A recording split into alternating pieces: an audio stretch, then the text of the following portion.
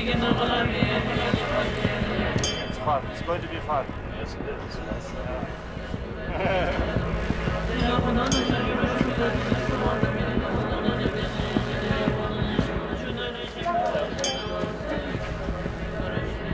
Yes, I never thought in my life one day I would take my clients traveling across my country and raft down this Dongmechu.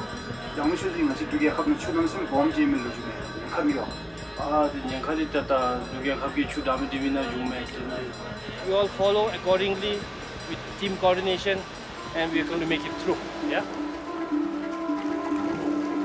Rafted on almost about 16 rivers all along the Himalayan foothills. I have not seen such a pristine ecosystem. There's a set of younger leopard tracks. There, I saw one. They're like ghosts. roses.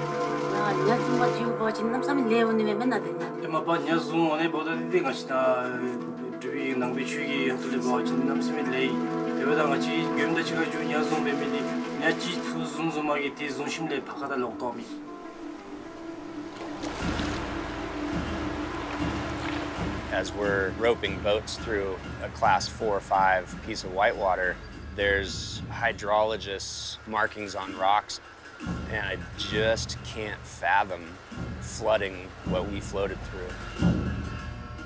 We do need power, and we do have a neighbor who is ready to buy it, but we must save some of our rivers for the future.